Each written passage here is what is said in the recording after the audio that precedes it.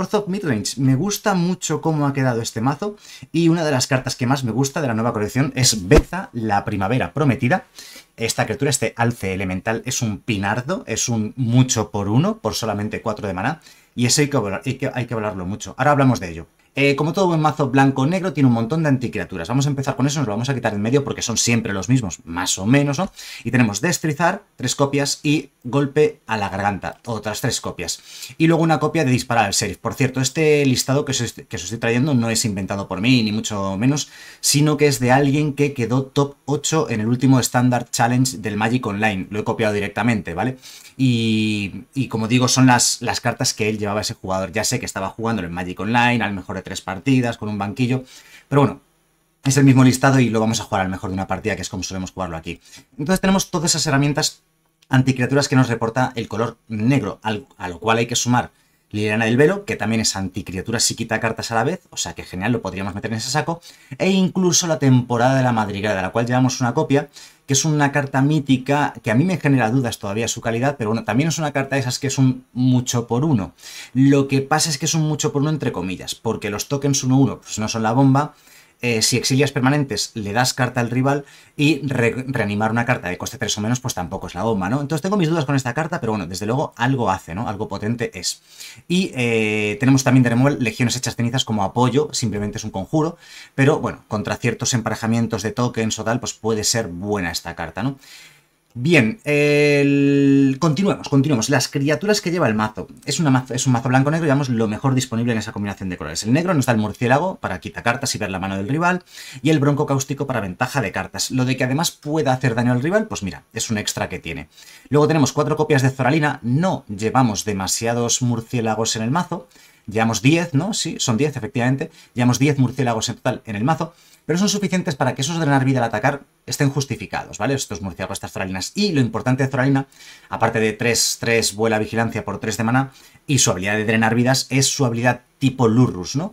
Pagas 2 cuando entra en juego o cuando ataca, y pagas dos vidas y hace un reanimate a un permanente que no sea tierra de coste 3 o menos de tu cementerio. Así que, como digo, bastante versátil, hace muchas cosas, las hace bien todas, por eso llevamos cuatro copias de Zoraina, así como de Predicador del Cisma, que es como la carta estrella de, de Ixalan, ¿no? Una de las cartas más jugadas de estándar, cualquier mazo negro que se precie lleva cuatro copias de Predicador del Cisma, lo mismo, es otra carta que es en bloqueos se va a intercambiar siempre por la, la otra criatura, ¿vale? Si hay bloqueo. Y si no lo hay, bueno, aunque no lo haya, al atacar ya te va a dar, pues bueno, un poco lo que, lo que necesites. ¿Te faltan vidas? Pues te da un 1-1 vínculo vital. Em, en caso contrario, robas carta o en empate, las dos cosas, ¿no? Por cierto, pierdes vida al robar carta. Beza, que ya lo hemos comentado, Beza es un mucho por uno, te da lo que te falta. Que tienes pocas vidas, te da cuatro vidas. Que te faltan tierras, te da una ficha de tesoro. Que te faltan criaturas, te da dos tokens uno a uno. Muy resumido, pero podríamos decir que es eso lo que hace Beza, ¿no? te da lo que te falta. Yo lo resumo así porque, hombre, tiene un texto muy largo, hace muchas cosas, pero resumidamente podría ser eso, aparte de darte un gran cuerpo, por cuatro es un pedazo de 4 o 5. Y luego ya en el coste 5, pues obligatorios, un par de Aclazot que son murciélagos, perdón que lo he dicho antes mal, son murciélagos, eh, y que por eso hacen que lleves en total 10 murciélagos en este mazo. Eh, es una carta que cuando toca mesa gana mono red, así que como no vas a llevar un par de copias de Aclazot, hace de todo también, y eh, un par de copias de Virtud de la Lealtad, es un buen truco, 2-2 eh, instantáneo, vigilancia y luego además si lo juegas como encantamiento pues, va a ayudar mucho a esta estrategia, encaja a la perfección. Por último, una copia del Errante Eterno, un Planeswalker de estos que atacando es muy difícil matarlo porque tiene muchos contadores de lealtad, porque solamente lo puede atacar una criatura cada ataque eh, y luego sus habilidades son buenas, 2-2 daña dos veces, quitándole cero contadores, el más uno hace un blinkeo a un artefacto, bueno no es un blinkeo porque lo devuelve al final del turno, pero hace un blinkeo de estos de final de turno con el más uno y luego el menos 4 hace una pequeña ira de Dios que más o menos te va a favorecer porque tú, bueno, sueles tener criaturas importantes en mesa y a lo mejor el rival pues no tantas, ¿no? O no son tan importantes las que tiene, ¿no? Luego todo el pack de tierras típico de una blanca negra, añadiendo eh, un par de copias de Fortaleza sin sosiego, las tierras típicas que se convierten en criatura que son también casi obligatorias. El puerto Fontanal que está demostrando que esta carta es tan buena o incluso mejor que el Mirrex. Y bueno, los cuatro pasajes de leyenda que los han reeditado en estándar y ayudan un poquito en términos de base de mana a mejorar todo y a sacar tierras del mazo. Así que esto es lo que tenemos, un mazo, como digo, muy chulo, muy competitivo, eh, que ya existía, ¿vale? O sea, no estamos inventando nada, la Orthop Midrange ya existía antes de la salida de Bloombarrow, pero con Bloombarrow, ¿qué ha recibido? Pues ha recibido una carta tan buena como Zoralina, como Beza, y, como el puerto fontanal, por añadir alguna, ¿no? También podríamos añadir el pasaje de leyenda y la temporada de la madriguera, ¿no? O sea, cartas muy buenas que hacen que el mazo pues, sea un poquito, un poquito novedoso, ¿no? Ya no es lo mismo de antes, es lo mismo pero mejorado y eso hace que merezca la pena darle una oportunidad. De hecho, vamos a probar. Vale, sale el rival, tenemos removal, removal... Bueno, eh, no es una mano muy buena, pero vamos a quedárnosla. ¿Sabéis lo que pasa? Saliendo el rival, hay tantas monored, lo de la monored es una cosa absurda todo el mundo está jugando mono-red o roja-negra, super mega agresiva, que ganan de tercer turno. Vale, afortunadamente no es una mono-red super agresiva, es, una carta, es un mazo molesto. Ah, es de ratas. Vale, vale, vale, nos enfrentamos a ratas rojas-negras. Necesitamos tierras, ¿eh? Así que voy a dejar esa tierra en el top, aunque entre girada. Vamos a quedárnosla a ver si se porta bien y nos ayuda a llegar al tercer, cuarto, quinto, sexto maná, para que las ratitas no nos coman. Vale, el otro día estuvimos jugando ratas y nos fue fatal. La verdad es que no ganábamos prácticamente ninguna partida. Esta rata ya pega mucho y me gustaría impedir que pegase tanto. Estoy dudando si jugar tierra enderezada o tierra girada. Voy a jugar...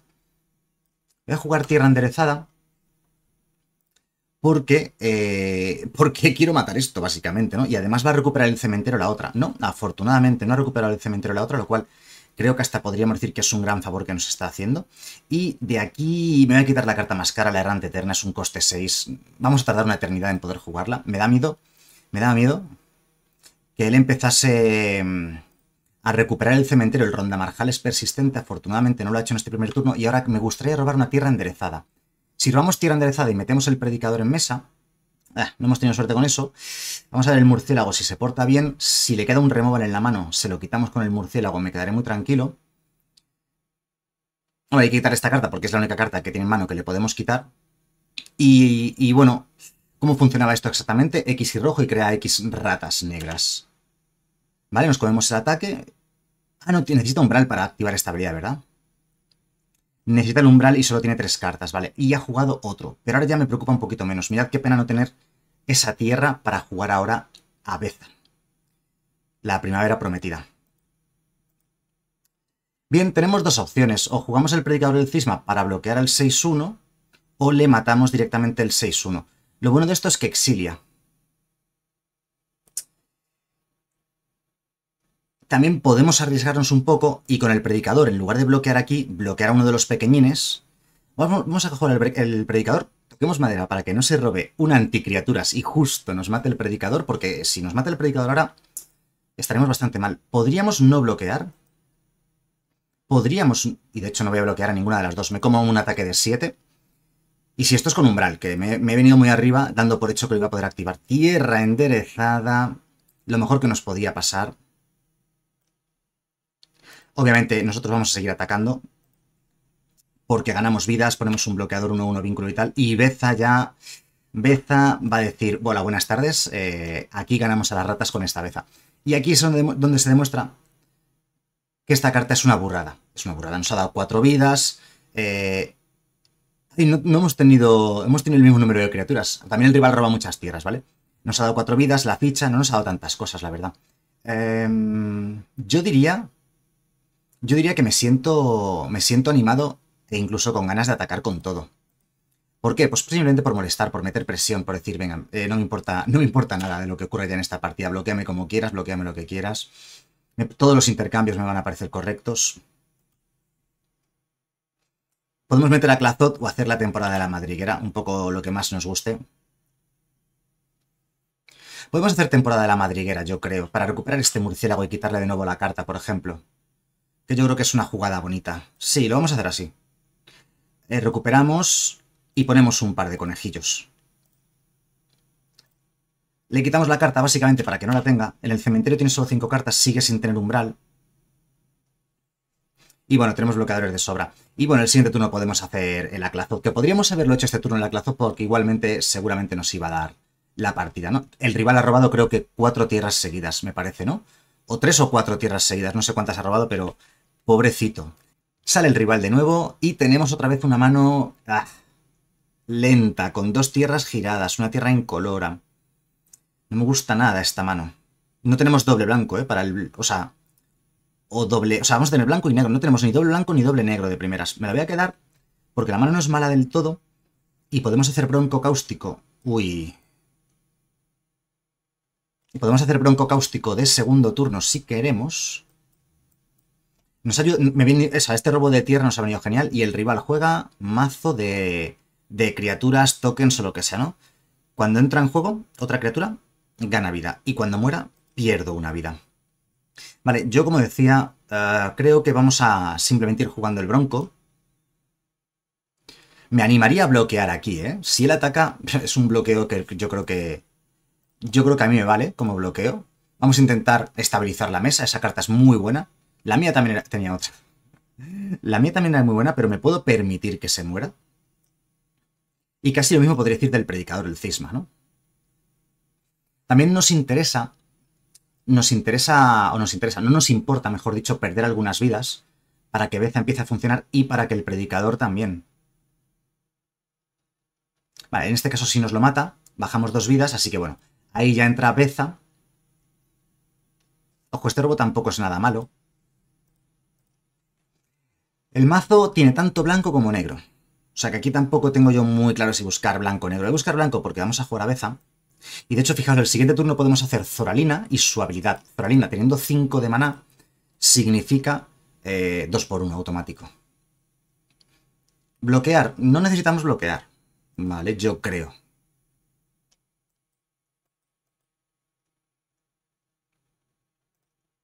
Ahí viene su Zoralina, ¿de acuerdo? gana vida. Y él en el cementerio tiene otro Elasilcor. No ataca. No ataca porque ha visto que estamos locos. Ah, si ataco yo, va a bloquear seguro. O no, si no ha querido atacar. Voy a atacar. Me vale cualquier intercambio que él quiera hacer. Si me bloquea con el Asilcor me vale, si me bloquea con Zarina me vale. Esto es legendario, no podemos jugar el segundo. De hecho, no bloquea nada. Y ahora nosotros tenemos que decidir si jugamos Zoralina y recuperamos el Bronco, o si vamos con Aclazot. Yo creo que cualquiera de las dos opciones sería buena. bueno, yo creo que vamos a hacer nuestra Zoralina para intercambiarla por la suya, ¿no? Nah, vamos a hacer Aclazot. Hacemos Aclazot. Hacemos Aclazot porque así ya su Zoralina ni siquiera se va a animar a atacar. Y si tiene anticaturas contra Aclazot, mientras no la exilie, bueno, pues Aclazot nos va a dar mana como tierra o la podemos dar la vuelta, lo que sea, ¿no? Lo que nos interese. Vamos a ver... Cuarta tierra, por cierto, importante, tiene una fortaleza sin sosiego y tiene un campo de demolición. Vale, nos mató Aclazot, que nos puede romper con el campo de demolición. También tenemos nosotros otra fortaleza sin sosiego. Y pega un poquitito, a ver, no puede activar la habilidad de Zaralina porque la caverna de ánimas es solo para lanzar hechizos de criatura, no para activar habilidades de criatura. Vale, eh, tenemos 3 y 4, 7 de maná. ¿Podemos hacer errante eterna? Uf, podemos hacer errante eterna y sacar a Death y volver a meterla. Yo creo que es lo que vamos a hacer. Ataco, ya sé que no vamos a ganar las vidas, pero tampoco me preocupan demasiado las vidas ahora mismo por la Errante Eterna, que es un Planeswalker muy gordo ya en mesa y que le va a generar muchos claros de cabeza. Y además mola bastante esto, ¿no? Nos exiliamos a Beza, sale, entra. No nos da las vidas, ni nos da cartas, pero sí nos da dos tokens, uno uno, que podemos usar para bloquear a el Asilcor, por ejemplo, o lo que sea, ¿no? En el cementerio, como decía, él solamente tiene el Asilcor, así que es lo único que puede reanimar. Eh, vedme aquí en, en Twitch siempre, Big sí. Además no puedo decir cualquier, no puedo decir ninguna otra cosa que no sea esa. por las normas de, Twitch. Así que siempre, aquí en Twitch, me tenéis que ver siempre. De Bodero pregunta, ¿dónde podéis ver la lista del mazo? Pues mira, precisamente, si estáis viendo mi directo, en Twitch, si vas a la versión de escritorio de Twitch en un PC, eh, en pantalla te aparecerá sobreimpresionado el mazo. Las cartas ampliadas, el listado, todo, etcétera, etcétera. Vale, Zoralina puede atacar si quiere. Nosotros jugaremos la nuestra el siguiente turno. A ver, Alfonso Guisado dice, ¿vas a subir vídeos de draft de Bloomberg? Yo creo que ya no, porque no lo he hecho la primera semana. He jugado un par de drafts, no me han ido bien y ya le he perdido las ganas y he dicho, va, yo no valgo para esto. Así que tiene pinta, me huelo, me temo, algo me dice que lo mismo no voy a jugar draft de... O al menos no voy a subir vídeos de draft de... Porque no, no noto que se me dé bien. No me lo he estudiado mucho, no lo he practicado mucho. Estoy un poquito perdido en draft, así que lo siento. Cristian Nieto, buenas noches. Vale, nos mata, nos mata el, el templo de los malditos este. Tampoco pasa nada, porque al fin y al cabo, pues vamos a tener un montón de tierras para poder hacer otro montón de cosas, ¿no? Él tiene más cartas en mano que nosotros ahora mismo, así que si hacemos... Tiene eh, tres cartas en mano, sí. Ah, me pregunto si era doble block. Vamos a atacar primero con Beza.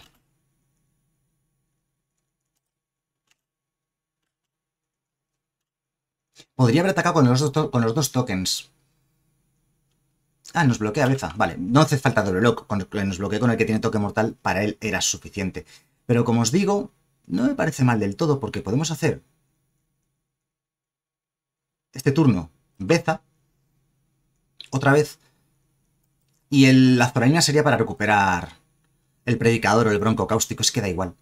Tenemos tanta tanta ventaja en este momento de la partida que nos da igual, ¿no? Eh, vamos a crear token 2-2, jugamos el murciélago, le demos la mano y se la quitamos. Uh, son buenas, ¿eh? Este momento, el haberle quitado el aclazot, nos salva bastante, bastante la vida. Vale, puedo volver a activar la habilidad de Zoralina para recuperar el Asilcor de nuevo, o nos mata el murciélago, con lo cual recupera ese aclazot. Ah, y nos mata la errante eterna. Tenemos que haber hecho Zoralina. Ya me estoy arrepintiendo infinito de haberlo hecho todo tan mal. Y encima recuperar el Asilcor. Lo he hecho bastante mal, sí. Menos mal que a pesar de que lo he hecho todo mal, creo que todas las decisiones que he tomado este turno han sido malas.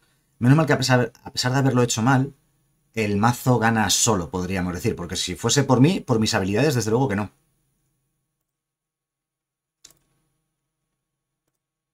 Estamos en la misma, ¿no? Nos va a bloquear aquí y nos tiene un poco hecho todo el lío.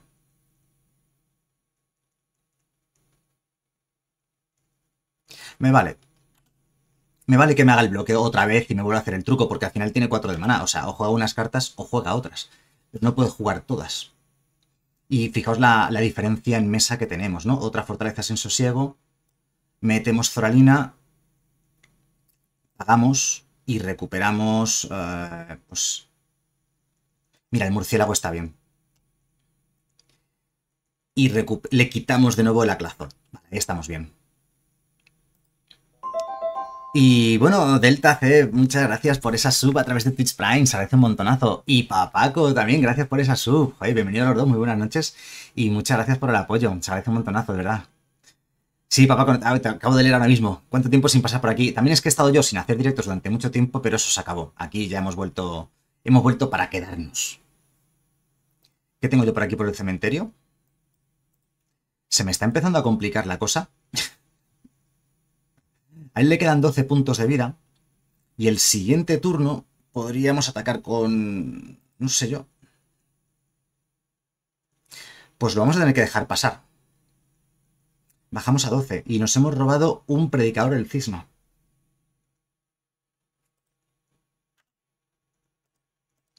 Voy a seguir atacando de esta manera. Vamos a pagar. Recuperamos un predicador del cisma.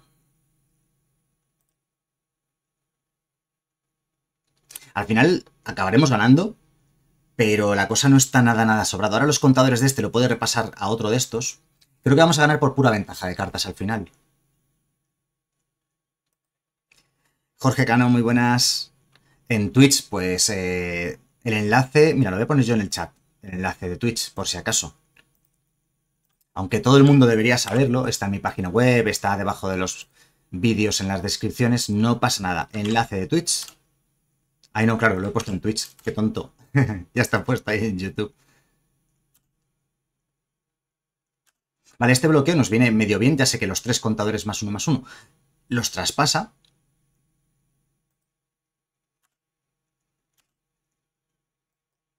Ojo, claro, que nos quedamos con 10 puntitos de vida. A lo mejor tenemos incluso que llegar a bloquear con el murciélago aquí para no acabar perdiendo. Vale, juega tierra de turno, tiene además en la fortaleza sin sosiego. Nosotros tendremos que atacar también con la fortaleza. Vale, y Liliana...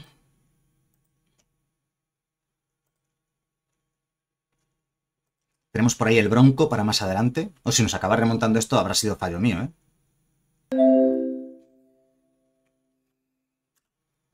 José Castiñeiras, muy buenas.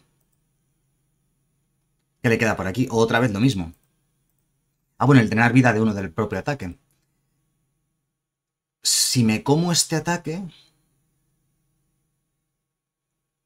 Uf, me lo voy a comer. Bajamos a 3, 4, perdón. De momento. Nos hace sacrificar a nosotros la criatura, sacrificamos el token. Y robamos el mejor robo posible. Ya era hora también, es cierto, ¿verdad?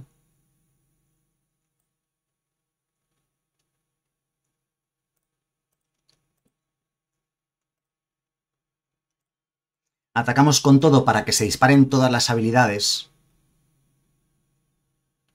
Pagar. ¿Queremos pagar dos vidas? Mira, voy a rechazar por si acaso, que estamos un poquito justos de vidas. Y le matamos a esa Zoralina. Es que estamos un pelín justos de vidas y no quería arriesgarme. Podríamos haber atacado incluso con una fortaleza sin sosiego.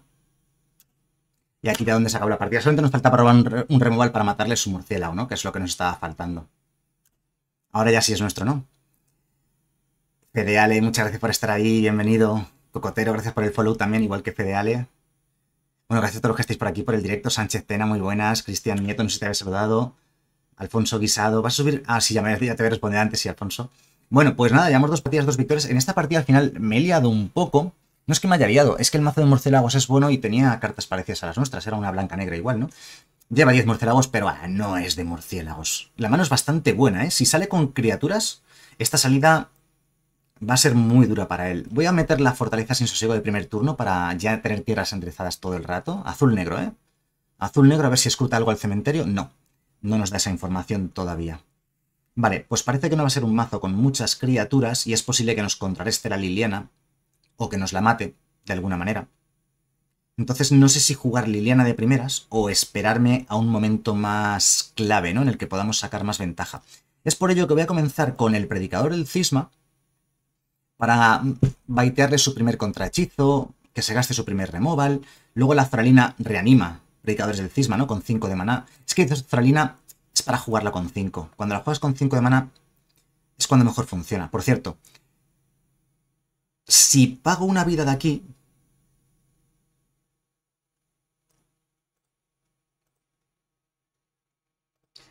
si me hago un daño, tengo menos vidas que el rival y ataco, entonces pondría un token 1-1.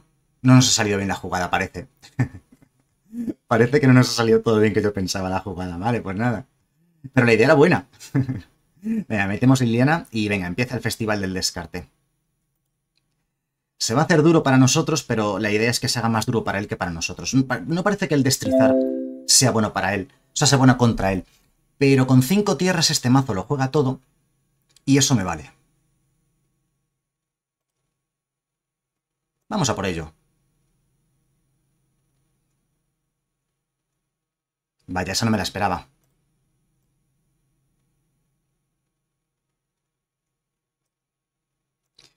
La habilidad la contrarresta igualmente, ¿verdad?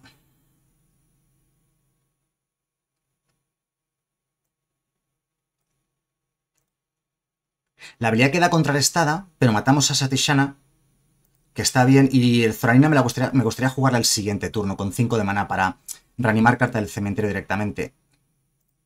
Y que no, y no, y que no tenga otro removal el rival este turno.